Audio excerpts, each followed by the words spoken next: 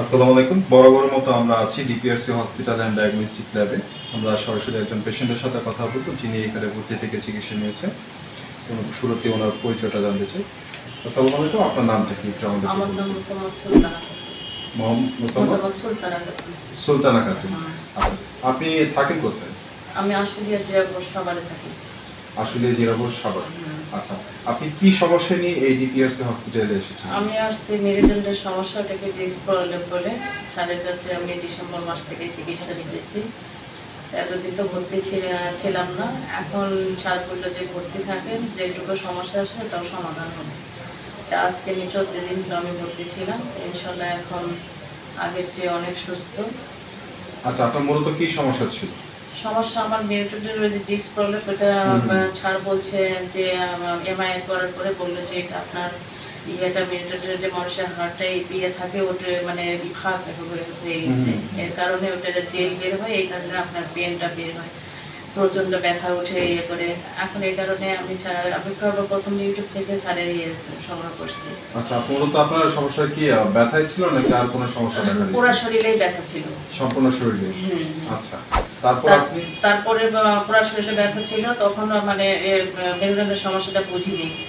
তারপরে ছাড়ের এখানে যখন আসলাম ঠিকানা নিয়ে আসলাম আসার পরে ছাড় পরীক্ষা নিরীক্ষা দিল এমআইএর করালাম তারপরে এই সমস্যা ধরা পড়ল। আচ্ছা এই সমস্যাটা কতদিন যাবত বলবেন? আমার এটা সমস্যা ডিসেম্বর মাসের উনিশ তারিখ থেকে আচ্ছা তখন থেকে কি আপনি ওনার হ্যাঁ। চিকিৎসা নিচ্ছেন? হ্যাঁ আমি চিকিৎসা নিচ্ছি কিন্তু আমি ভর্তি ছিলাম না এতদিন আচ্ছা এর আগে কি কোথাও দেখেনি না না, আমি এর আগে কোথাও দেখাই নেই। তখন সামান্য আমার হাতে ব্যথা ছিল আমি সাভারে ইবনে সিনার মধ্যে বাদ বিশুদ্ধ ডাক্তারকে দেখাইছিলাম তখন উনি বলছে যে এটা বাতের সমস্যা। আচ্ছা। তো আপনি এখানে কোন ডক্টরের অধীনে চিকিৎসা নিচ্ছেন? প্রধান। শফিলা প্রধান। আচ্ছা চোদ্দ দিন যাবত ভর্তি নিয়েছেন? হ্যাঁ, হ্যাঁ। চিকিৎসা নিয়েছেন। আচ্ছা তাহলে এখন আপনার কি অবস্থা? আপনি যে আপনি ভর্তি হওয়ার আগে এখন ভর্তি হওয়ার পরে হ্যাঁ এই অবস্থা চোদ্দ দিনে ইনশাল্লাহ অনেক হয়েছে উন্নত হয়েছে। এখন ব্যথাটা নাই বললেই চলে। ব্যথাটা নেই। হ্যাঁ। আচ্ছা। আর তারপর আপনার কাছে জানতে চাইব যেহেতু এখানে ভর্তি ছিলেন আপনার এখানকার পরিবেশ কেমন? একজন ভর্তি জন্য কতটুকু পরিবেশ দেখলাম অনেক ভালো পরিবেশ। এখানে আমি তো ওই বিল্ডিং এ ছিলাম পরিবেশ ভালো আপনাদের সার্ভিসও ভালো। পাশাপাশি আপনার কাছে হ্যাঁ। জানতে চাইব যারা ডক্টর ছিলেন তাদের সেবা কেমন? তারপর পাশাপাশি খুব ভালো তাদের ব্যবহার ছিলেন। সবাই ভালো সিস্টার থেকে শুরু করে ব্যবহার সবারই ভালো। খুব সুন্দর ব্যবহার করে রুগীদের সাথে। আর তারপরে যারা থেরাপি টেরাপি দেয় তারা সুন্দরভাবে রুগীদের থেরাপি টেরাপি দেয়।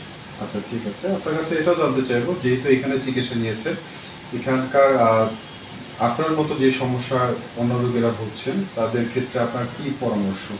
আমি একটাই পরামর্শ দিব যদি আপনাদের আমার মতো সমস্যা কারও হয়ে থাকে তাহলে স্যারের এখানে আসে স্যারের সঙ্গে যোগাযোগ করে তাহলে এখানে চিকিৎসা নেন। কারণ অন্য কোথাও তো আমি চিকিৎসা নেইনি বা জানিও না। এখানে আমি নিয়েছি আমি এখানকার কথাই বলব।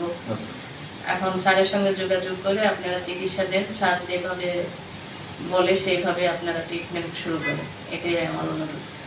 ঠিক আছে আপনাকে অশেষ ধন্যবাদ। আপনার মূল্যবান দেওয়ার আচ্ছা, ভালো। থাকবেন আসসালামু আলাইকুম। ওয়ালাইকুম আসসালাম।